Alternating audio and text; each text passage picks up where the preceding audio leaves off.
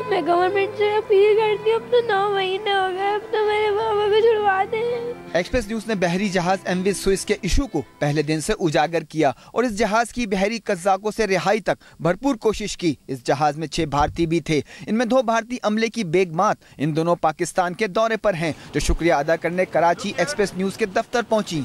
इनके हमरा समाजी रहनुमा अंसार बर्नी और उनकी अहलिया भी थी। संपा आर्या और मधु शर्मा को एक्सप्रेस न्यूज़ कराची के ब्यूरो चीफ अकबर अली ने फूलों के गुलदस्ते पेश किए। संपा की ख्वाहिश पर इन्हें एक्सप्रेस न्यूज़ पर चलने वाली रिपोर्ट दिखाई गई, जिस पर वो जज्बाती हो गईं। उनका कहना था कि इस मंजिल पर आने में सबसे पहले सीढ़ी एक्सप्रेस न्यूज़ थी।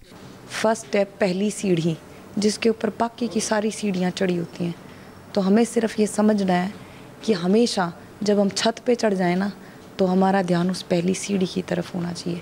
एक्सप्रेस न्यूज़ वही सीढ़ी है। इस मौके पर समाजी रहनुमा अंसार बन्नी की अहलिया का कहना था कि भारतीय अमले की रिहाई में पाकिस्तान ने अहम किरदार अदा किया जिस पर दोनों मुल्कों के ताल्लुकात में बेहतरी आएगी। बहुत अच्छा लग रहा है। अभी आपने पुराने क्लिप्स दिखाए तो वो सारी चीज़ें फिर से मेमोरी जो है बहाल हो गई कि वाकई वो कितना तकलीफ़ दे वक्त। था दुआएँ कर रहे थे हर तरह से हम इनके साथ कोशिश कर रहे थे फाइनेंशियली भी, पैसों से भी, दुआओं से भी, हर तरह। भारतीय खातन ने एक्सप्रेस न्यूज़ में दो घंटे से जायद वक्त गुजारा और पाकिस्तान की आवाम हुकूमत, सदर आसिफ जरदारी, अल्ताफ हुसैन, गवर्नर सिंध अंसार बर्नी और एक्सप्रेस न्यूज़ का रिहाई दिलाने पर खसूस शुक्रिया अदा किया। Naeem Khanzada Express News, Karachi.